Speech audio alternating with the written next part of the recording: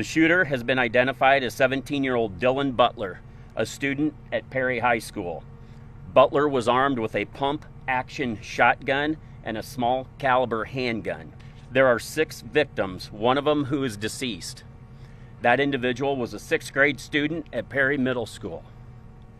The other five are being treated at area hospitals. Four of the surviving student, four of the victim, surviving victims are students, and the fifth is a school administrator. He was a good person. He was hurting. He got tired.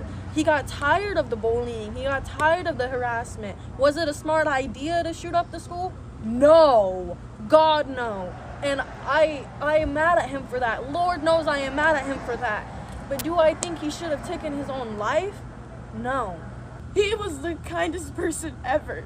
He was there for us when we needed him, and we tried to be there when he needed us, us which clearly we weren't there for him enough.